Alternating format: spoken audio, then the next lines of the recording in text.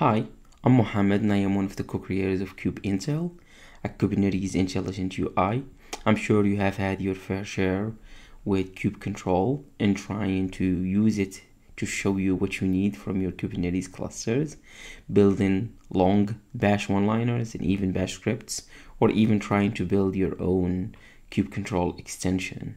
Well, kubeintel is a solution for that. It's an intuitive UI with a lightning fast search and AI powered insights that can work with various AI providers. It can work on major Kubernetes platform, whether those are your favorite cloud providers or even on-prem. It can work with the various resources and it's full with various useful features. So let me show you a short demo so you can stop wasting time in your terminal. So this is an instance of kubeintel that is actually running on a Kubernetes cluster. So this is where you can search for all your resources. I can come here, for instance, and I can type kube system, and that will show me various resources that has somewhat related to kube system, right?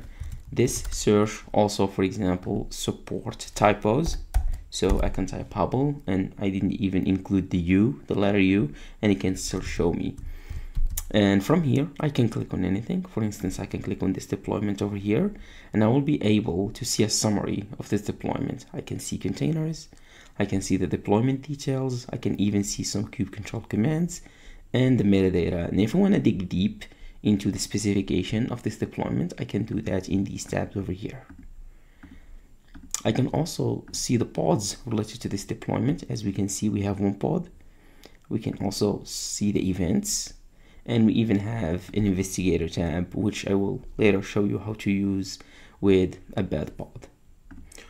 Also here, if we want to search for a specific resource like pods, for example, we can come here and we can type Cilium and we can see we can get the pods. If we click on it, we will get basically a summary page, the specs, the YAML, events, logs, and investigator. For instance, here we can click on logs and we can see the logs we can switch between containers and see the log at a glance.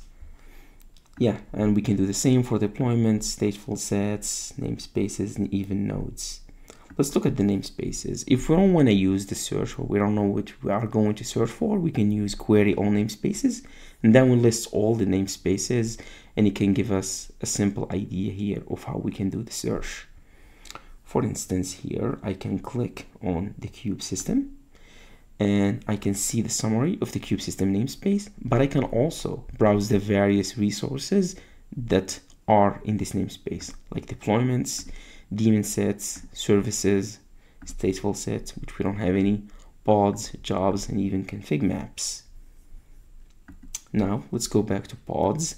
I'm gonna go ahead and launch a malfunctioning pod. The name of this pod is demo, nginx demo. So we can just type in demo and we can see it. If I click on it here, we can see that it's ready, running, has a 1 over 1 and no restarts. If we click on events, uh, we can see that it's unhealthy and its liveness probe is actually failing. If we don't understand these events, we can use actually AI to explain these events. This AI can work with the various AI providers such as OpenAI, Anthropic, Gemini, and even Ollama. So this is give us a small explanation of this specific events. But let's say even I read this explanation and I don't understand it very well. I can go to investigator. I can allow the events to be submitted to the LLM and even the logs as well and here I can type trouble shoot this for me. Be brief.